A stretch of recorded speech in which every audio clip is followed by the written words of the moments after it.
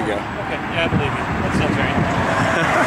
yeah, because we just did a hostel show right ten years from this. Did you? Uh, yeah. Are you guys going to Wynn Plaza? Huh? You going to the Wynn Plaza? What? I thought you. I thought I heard. Oh, yeah. Close, close by. Yeah, yeah. Oh, okay. Oh, you talking about the pasta house? Yes. You know, wait, what? Yes. Oh, yeah.